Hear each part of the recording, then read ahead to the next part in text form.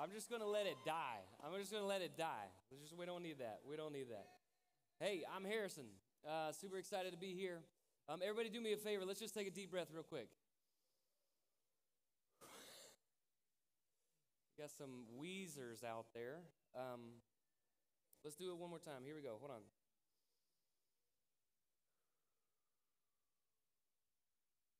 You know, we were just singing this song, and uh, and it just kind of got me thinking about what we're about to talk about.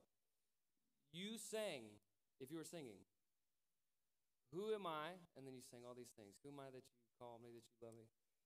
Who am I that you call me yours? Some of us right now, I think we're just owning those songs. You know what I'm talking about? We're, we're renting these songs. We're, we're coming, we're here, we're pumped up, we're, we're excited about this. But when we sing these songs, we're all excited about it, but sometimes we're, we're renting these things. Like, do you really think, do you really believe that God calls you His? Like, when He sees you, He sees you as His daughter, and He's going like, man, you are mine. I'm going to do anything in my power make sure you discover exactly who you were created to be. And I'm going to do everything in my power as long as you will come to me. I'm going to do everything in my power for you to discover exactly who you are and exactly what you were created for. Do you actually believe that? This is an opportunity. This week's an opportunity. Guys, I'm just telling you. You can put a lot of stuff to the side. By the end of this, when we sing that song, I want us to own it. You know what I'm talking about? Like when you walk away from this week, you go, that song's mine. Who am I that Creator God the, of the universe would call me His? And this is special. This is something awesome. This is something awesome that we get to be a part of. And this whole week is how do you discover rest of your life? Rest for your soul it's going to last for the rest of your life. Um, let me tell you a quick story, and we're going to jump into this. Uh, I got four kids. Don't know how they keep coming, but they keep doing, keep coming. That's cool. Um, and uh, I remember when Callie Joe, my third, just kidding. I know, I know how babies are made. Um, third, third child, Callie Joe, she was being born. Okay, so we were living in Statesboro. Represent Statesboro. Come on. we are well, technically Brooklet. Brooklet. okay, okay. Um, you are like, is that a real place? It is. Okay, so we're so we're heading into the Savannah um, to have Callie Joe, and uh, this is our third child. So we just kind of knew what's going on. Um, the doctor didn't even make it, and so I looked at the nurse and I was like, "Hey, do you know what you're doing? Because I've had two kids, and I could do this if I have to." And she was super offended, um, but you know, my bad. Um, but anyway, so so we go to the hospital. Um, my wife does most of the work. Um, she has a baby. We're there for a couple of days. Uh, we're exhausted though, um, because you're, you're staying up a lot and you're just trying to chart things. And you're trying to make sure everything's okay. And so the day we're getting ready to go, uh, we get a call from our friends who are watching our other kids, Harrison and Emma Grace. And they said, hey, don't freak out, which is a cue to like, oh, this is about to get good, you know? Don't freak out. Harrison uh, busted his forehead wide open right in the middle. I don't think it's that bad but we're taking him to the hospital. And so we were in Savannah at a hospital for three days, got a call, and went straight to a hospital in Statesboro where I get to go look at my son. And heads up, it was bad. You could like see the bone in his head. And I was like, oh my goodness. So, so it was one of those things that like we were exhausted and then it came again. Like we were like, man, I cannot wait to just get home and get in my bed and just rest. And then something else came. Have you ever felt that? Like you've been in these seasons where it's like you're in school and it's getting hard, and then you got sports and the season's getting a little more complicated, or you're in this club and, and the, the you got exams coming, and then you got these finals coming, and then all of a sudden you got some weird relational stuff going on in your friend group, and so now there are two groups. You're trying to figure out which group am I supposed to be a part of, and then maybe you get sick or your family, someone in your family gets sick, and so it just feels like, man, all this stuff keeps adding up. It keeps getting worse. And just like in that video, the guy was talking about, he said, Hey, look, Jesus says there's a different way to do life. There's a different way to do this. What your experience, your lived experience, think about your week, what your lived experience. is exhausting. But Jesus says, There's another way, right? My yoke is easy, my burden is light. I won't read the whole thing, but Jesus just simply says, Come. Come to me. That's what this week is about. I wish I knew every one of you. I wish I could sit down with you and drink coffee or whatever you like to drink, and, and we could just go like, hey, listen, listen. Just come to him. Come to him. This solves a lot of your problems. You're trying to do life in a way that's exhausting, and you're just getting started at it. It gets worse unless you figure this thing out. Come to him. Jesus is saying, I have something that your soul is desperate for, but you have to come. You got to show up. That's what we're going to be talking about. It's a posture. It's a posture that we would humble ourselves, come to Him, and that we would receive what He has. And what He brings to your soul is rest. All right, so we're going to look at a cool story about that. If you got a Bible, go ahead and turn to Luke 10. Go ahead and turn there. I know we all got them. Luke 10. Let's do it. If you don't have it, fake it. Act like you're turning there right now. Do, do, do. I'm looking it up on my phone. Okay. Luke 10, that's where we're going to be jumping into it. But here's what I want you to do. I, I think somebody told you, hey, bring a Bible. If you don't have a Bible, we'll try to help you figure that out. I want you to take notes. How many of you are journalers? Anybody journal? Okay, okay. There are like 20 of us that still know how to write with a pen. That's awesome. That's what I'm talking about. Okay. All right. Well, let's take notes. Let's dig into this. There, you get you get a choice right now. You can just sit there and kind of zone out, or you have a chance to encounter everything Jesus has for you through His Word. You make the decision right now. What are you going to do about it? Are you going to lean into this or are you just going to zone out? Come on, let's jump in. Luke 10, a little bit of context. Luke 10 tells this famous story of the Good Samaritan. Anybody know that story? Story about the, the Samaritan who helps this guy who's an injured and he's passed by all these other religious guys. So these two stories go back to back the Good Samaritan and then Jesus kind of going to Mary and Martha's house. These stories go together.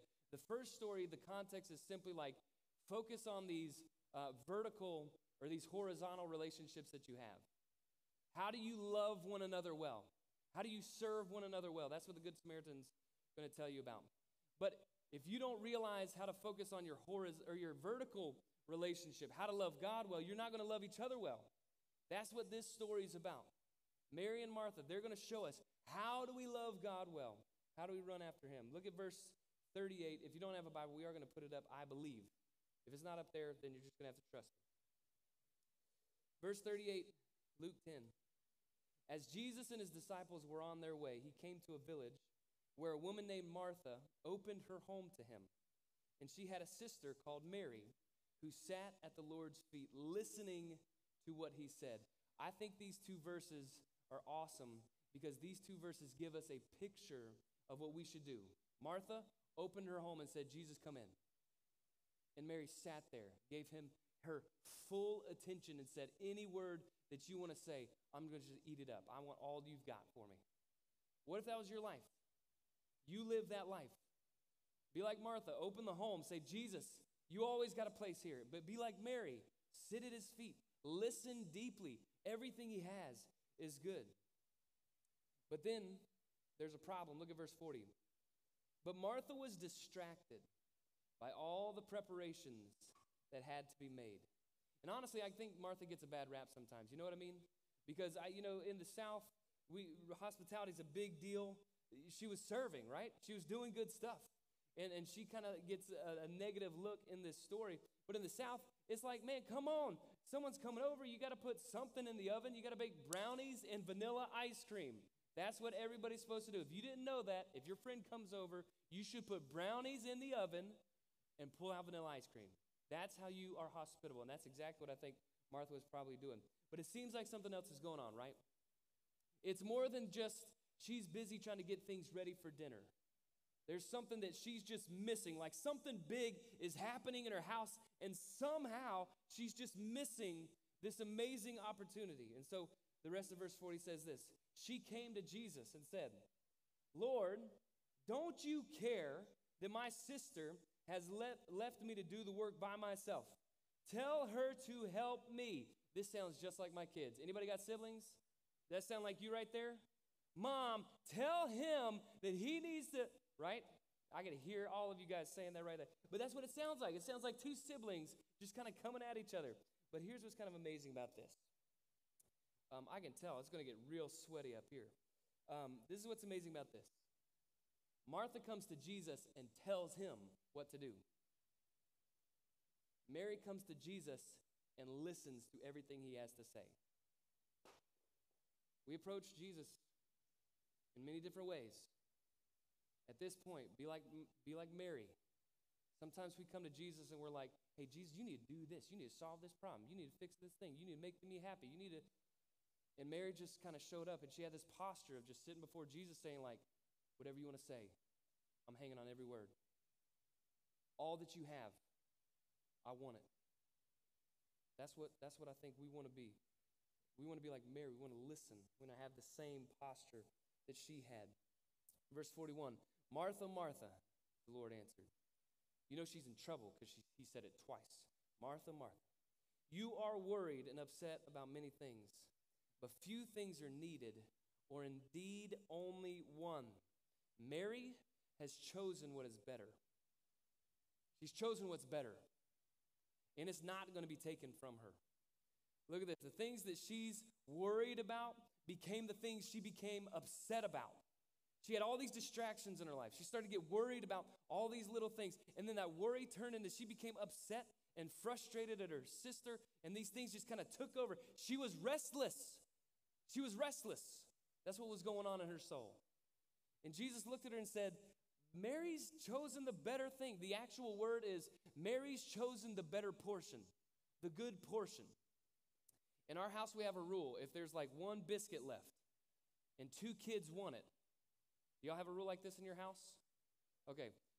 They, they ha- whoever cuts it, the other person gets to decide which half they get. Is that the rule in your house? It's a good rule. If you don't have that rule, you need to use it. But, but here's what I think is happening. This is what the text is actually saying. The, the, the meal has been divided, and Mary has, cho- Mary has chosen the best portion. She chose the best piece of the meal. In fact, look at how the message um, talks about this. The message writes it this way The master said, Martha, dear Martha, you are fussing far too much, getting yourself worked up over nothing. Does that sound like anybody in here? Does that sound like you? you just get worked up about stuff it just doesn't matter? All right, well then listen. Listen to this next part. One thing only is essential, and Mary has chosen it. It's the main course, it's the best part of the meal and it's not going to be taken from her.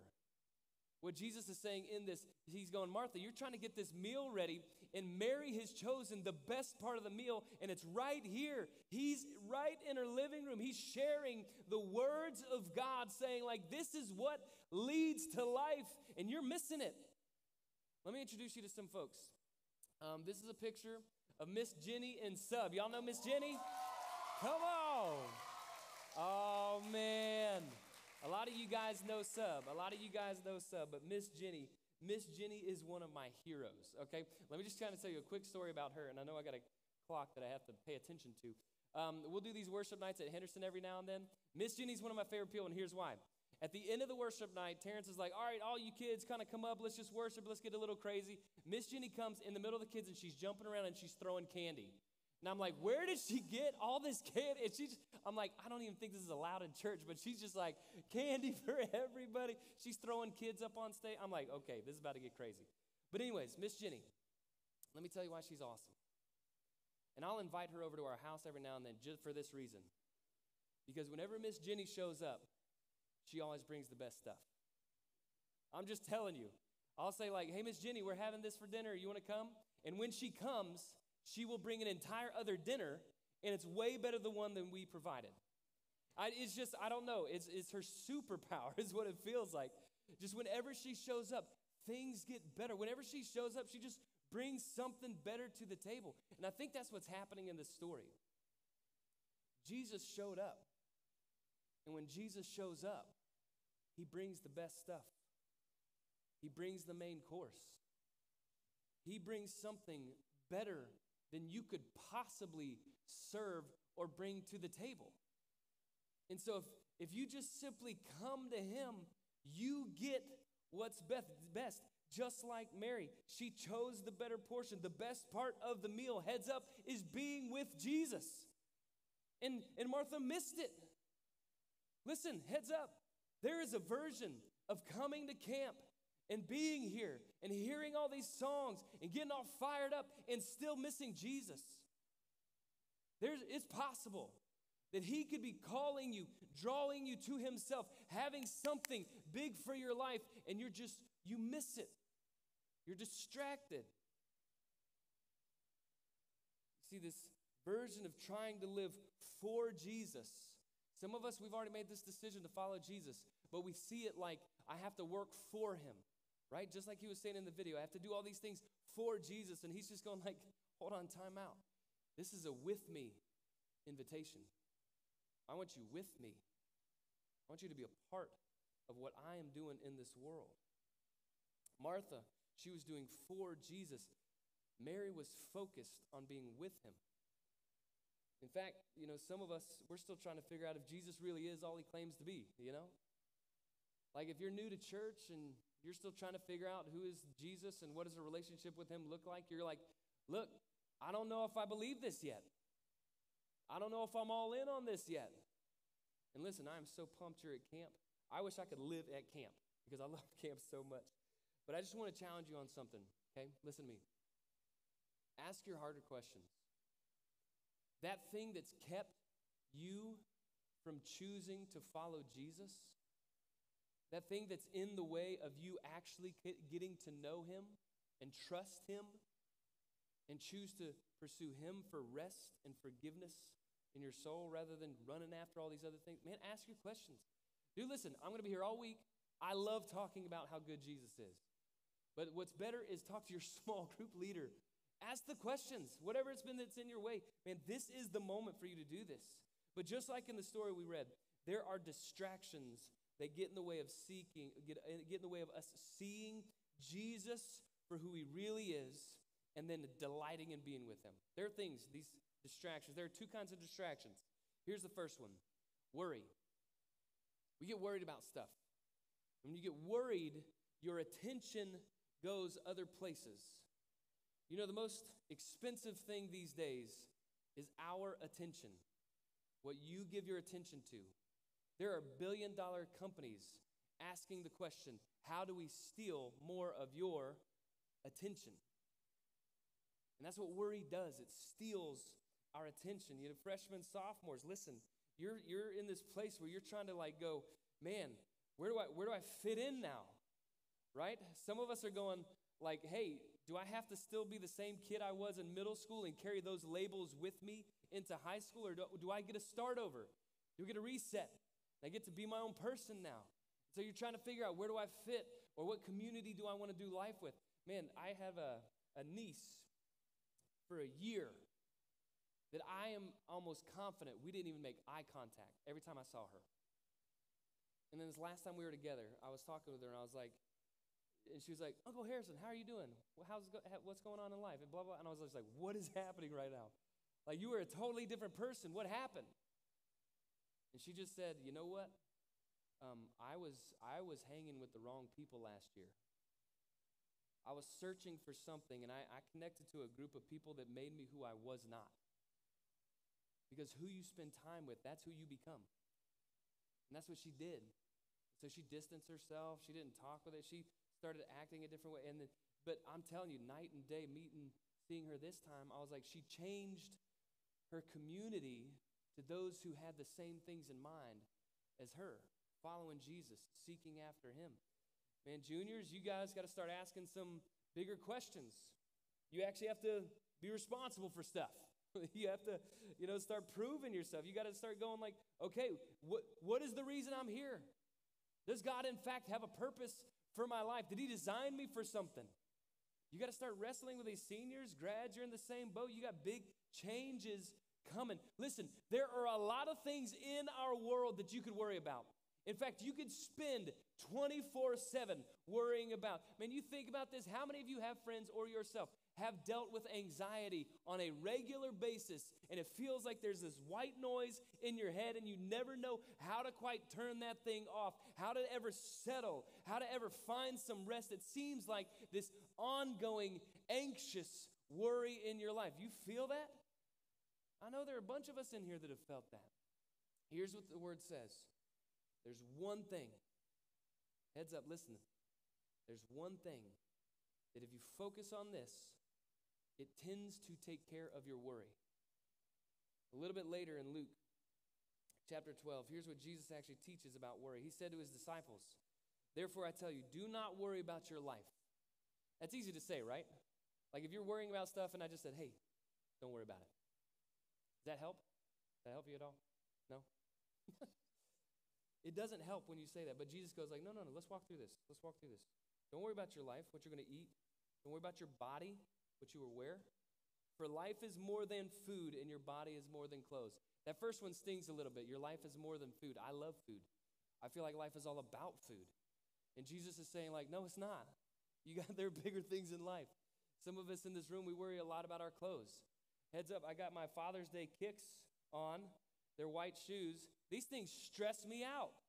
I didn't realize how scary white shoes were because you're like, am I just going to step in something and I ruin them? Uh, but, but for some of us, we worry about our clothes, meaning you're worrying about your image. You're consumed with how you appear to other people. You're consumed with, with kind of putting on this image for others to see, to buy into, or I don't, I don't really know. But Jesus is just going like, hey, heads up. Life is more than food. More than your clothes. Consider the ravens. They don't sow, they don't reap, they don't have storerooms or barns, and yet God feeds them. Please listen to this part. How much more valuable are you than birds? Some of you might struggle with that one. You don't see your worth. You feel worthless. You don't see yourself the way God sees you, and He values you. Look at verse 25. Who of you by worrying can even add a single hour to your life? Worrying doesn't solve anything. You know what it does? Create more problems. He says it doesn't add anything. Since you cannot do the very thing, why do you worry about rest? Look at the last verse, 31. But seek his kingdom. This is the one thing. Seek his kingdom, his will, his way. Seek his kingdom first, foremost, above all else. And then all these things, they'll be given to you as well. If you come to Jesus, you seek his kingdom, you seek his will for your life. You seek out His ways in our world. Listen, your worries will work themselves out. I promise you. Seek His kingdom first. But here's the second distraction is temptation. The first thing that distracts us is worry. The second thing that we have to watch out for is temptation. Just to be clear, I don't think you should feel bad about being tempted. Jesus was tempted. Did y'all know that? He was tempted. He didn't he, in short, temptation, it's a, it's a test, but it's a test that comes with pressure. You know what I'm talking about? It's a test that kind of like squeezes you to see what's on the inside of you. And so temptation is going to come. Temptation is not sin, but it gives you an opportunity to sin. It is not sin in itself, but it's going to give you a chance. You know, in Matthew chapter 4, this is where Jesus was tempted. When Jesus was led by the Spirit into the wilderness to be tempted by the devil. After fasting for 40 days and 40 nights, he was hungry. Think about that. He didn't eat for 40 days, and the scripture says, heads up, he was hungry. We know that. That's obvious. The tempter came to him at his weakest point when he was hungry. He said, If you are the Son of God, tell these stones to become bread. Jesus answered, It is written, Man shall not live by bread alone. You're more than food. There's more to life than food. He says, But you will live by every word that comes from the mouth of God. What was Mary doing? She was sitting, had this posture. She came to Jesus, and she was just hanging on every word. Every word he said was like food for her soul. Something in her started to settle. See, these distractions, they come. They come in worry, they come in temptation. You know how temptation is. Let me just give you a picture of this. Temptation, it, it likes to come to your house and knock on the door. And you have a chance to sit at the door and keep that door closed. You know what I'm talking about? But sometimes when temptation comes, we crack the door and we go, "Oh man, what's up?" And then we go, "Oh man, I don't really want I don't want any part of this. I don't want anything in here." And so we try to shut the door and then the devil puts his foot in the door and says, "Man, come on, hold on. Hold on a second. Give me a chance. I can be really fun. I can be a party." So temptation stands at your door and he knocks and, and you open the door. If you don't shut that door, it gets harder from there. It might be a fight to get it out, but at least you close the door. For some of us, temptation comes. It's like an old friend, and we're like, man, come on inside. Let's watch a movie. Let's pop some popcorn. Let's get into some stuff. Let's have some fun. See, the reality is, temptation's way easier to fight on the front porch than it is when you've let it in. Let it take up residence. That's a different kind of fight. Some of us, we've let temptation come in so much that produced sin in our life. Every regret we have is because we open that door to temptation and we just let it take up residence. And that's the very thing, that's the very thing that now stands between you and hearing what Jesus has for you. This week, you can do something about these things these worries, these distractions, these things that get in the way of you seeing who Jesus is. Listen, worries, there are two kinds of distractions here that, that, that we need to fight. We need to be aware of. These worries, they steal our attention. That belongs to Jesus. That's where rest is found, that's where hope is found. You want to discover your identity? It's going to be found in His Word, sitting at His feet, saying, Jesus, more of you in my life, less of me, less of this worry, less of these temptations. Worries are trying to steal your attention, temptation is trying to steal your affection. That belongs to Jesus. He's the only one worthy of it.